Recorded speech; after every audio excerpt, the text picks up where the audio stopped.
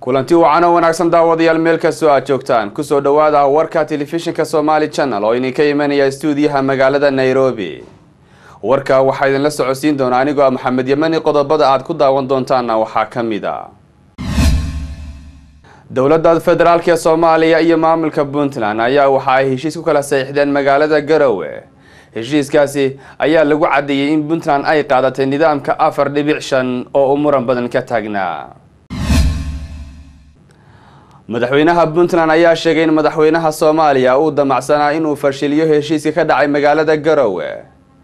Kadib markii uu sheegay in uu ka hor dhacay qodobada heshiiska intaan la saxiixin. Musharaxa madaxweyneha xisbiga u m b ayaa kumanaan taageerayaasha xisbigaasi ah waxa uu kula hadlay degmada cali sabiix ee dalka jabuuti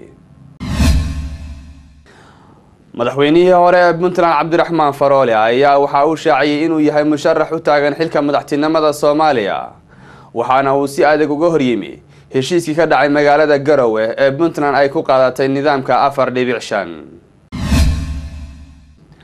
Ciidamada ammaanka ee dowladda soomaaliyana waxa ay fashiliyeen gaari laga soo buuxiyey waxyaabaha qarxa isla markaana la dhigay goob maqaaxi ah oo ay dadku isugu yimaadaan oo ku taala magaalada muqdisho